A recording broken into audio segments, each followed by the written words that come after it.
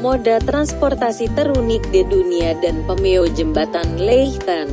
Catatan seorang insinyur kali ini yang disajikan oleh Insinyur Roni Ardiansyah adalah artikel yang ditulis di ronimedia.wordpress.com yang berjudul Moda Transportasi Unik Pekanbaru Dulu. Era 70-80-an. Pernah ada transportasi utama Pekanbaru Rumbai yang saat itu diberi nama Bas Panjang. Disebut Bas Panjang karena kendaraan transportasi ini memang panjang. Berupa gerbong atau di depan gerbong ditarik semacam kendaraan truk berbentuk jeep raksasa.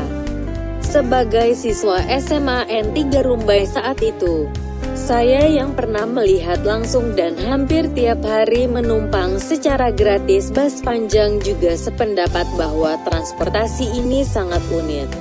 Inilah salah satu moda transportasi terunik di dunia.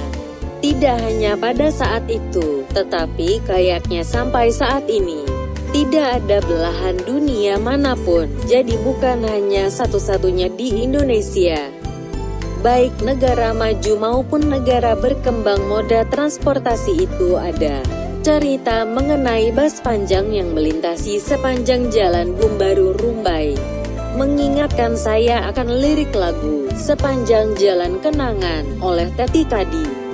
Dengan lirik ref lagunya yang berjudul, Sepanjang Jalan Kenangan, maka ref lagu kita ubah menjadi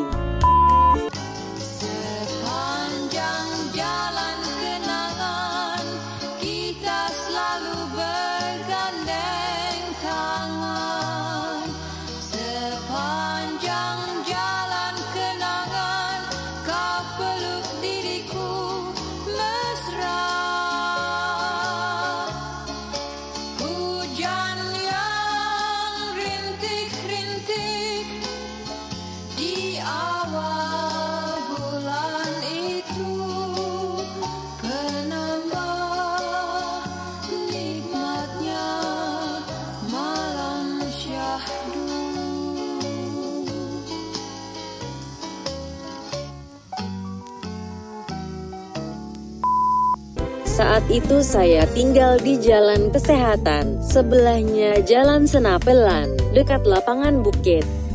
Bila ingin ke sekolah saya harus berjalan kaki melewati Bumbaru Terminal menuju Rumbai, naik dan melewati jembatan Leighton yang dibangun era tahun 74-an.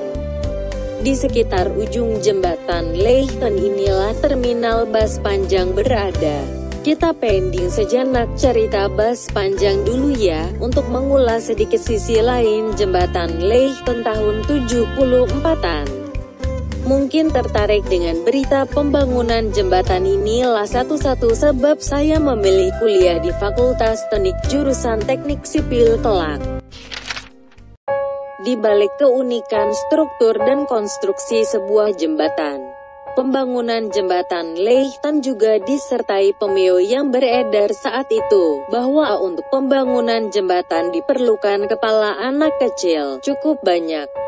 Sebagai anak kelas 3 SD saat itu, tentu saya juga terpengaruh berita angin atau berita bohong itu. Maka saat itu beredar isu, awas tukang potong kepala anak kecil. Jadi daerah-daerah pinggiran akan takut sekali dengan isu tersebut.